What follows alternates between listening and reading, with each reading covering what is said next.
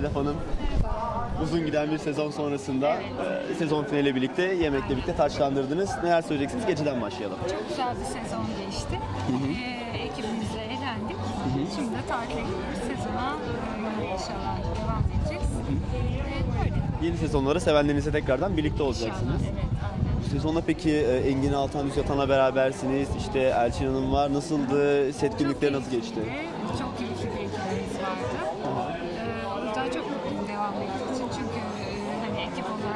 için bizim için en önemli olan şeylerden biri bu. Ee, böyle. Şeyi de sormak istiyorum. Çok mütevazi bir hayatınız var. Daha çok basından daha gizli yaşadığınız, kimseye göstermediğiniz, sosyal medyanızda da paylaşmadığınız. Neden böyle bir hayat tarzısınız? Daha mı mutlu ediyor bu sizi? Bir sebebi var mı? Bir sebebi yok. Bu benim özel hayatım. Bu da normal iş hayatım. Ee, olması gerektiği gibi, olması gerektiği kadar.